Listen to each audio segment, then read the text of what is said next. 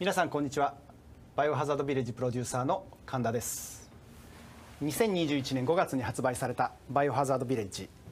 邪悪と狂気に満ちる村を舞台に主人公イーサン・ウィンターズの結縮を描いた本作は全世界650万本を突破する大ヒットとなりました。ありがとうございます。そんなビレッジをさらに楽しめる3つのコンテンツが収録されたウィンターズエクスパンション。そして本編とセットになったバイオハザードビレッジゴールドエディションがいよいよ来月発売されます。まずは最新のゲームプレイ映像をご覧ください。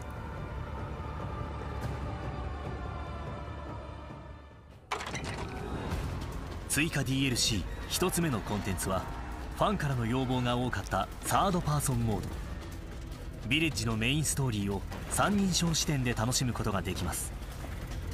一人称視点では見えなかったイーさんの動きをたっぷり見ることはもちろん三人称視点ならではの恐怖も感じることができます。戦闘はオリジナル以上にシリーズファンには馴染みやすいプレイフィールに。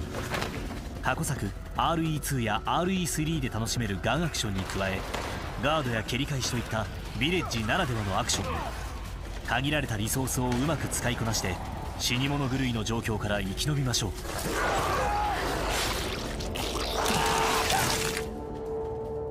続いては新シナリオ「シャドウズ・オブ・ローズ」こちらも三人称視点でプレイできます。本編の16年後イーさんの娘成長したローズのサバイバルが描かれます。舞台となる意識の世界は恐ろしくも異様な非現実。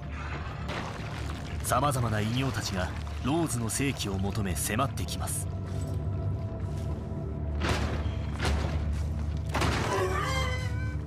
この世界ではたった一度のダメージが命取りになります。秘められた力に悩むローズ。しかしこの世界ではその力が大きな助けになります。力で敵の動きを止めて急所をめがけていち早く打ち倒す。この生死を分かつ緊張感をぜひご体験ください。3つ目のコンテンツは進化したザ・マーセナリーズ・アディショナル・オーダーズ。ハイテンポなゲームプレイが楽しめるザ・マーセナリーズに追加ステージ追加プレイヤブルキャラクターが参戦しさらに重厚なプレイボリュームのゲームモードへと進化。ドミトレスクやハイゼンベルクといった個性的な追加キャラクターがシリーズでも異彩を放つアクションを繰り広げます。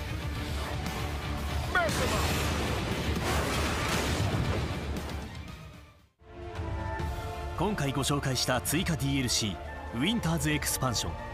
本編と追加 DLC のセットバイオハザードビレッジゴールドエディションは10月28日発売予定。限定特典として追加シナリオ「シャドウズ・オブ・ローズ」で使用できるローズの衣装ストリートウルフアウトフィットをプレゼント。ぜひご予約ください。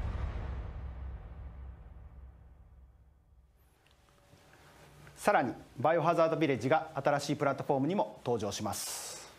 こちらの MacBookPro でも遊べるようになります。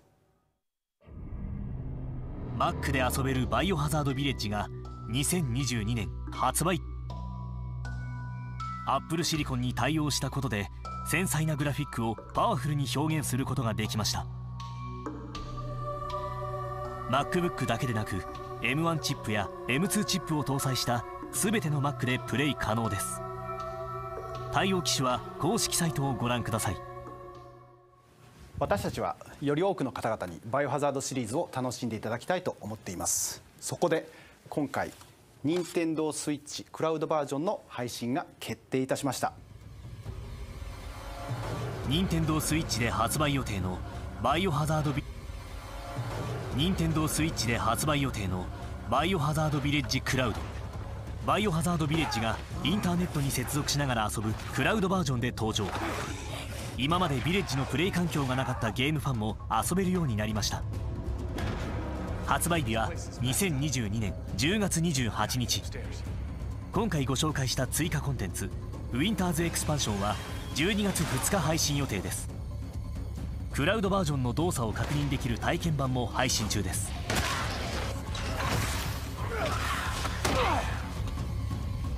任天堂 switch でのクラウドバージョンは「バイオハザード7」「バイオハザード RE2」「バイオハザード RE3」も配信予定。バイオハザード7のクラウドバージョンは無期限プレイ版として装いを新たに登場です。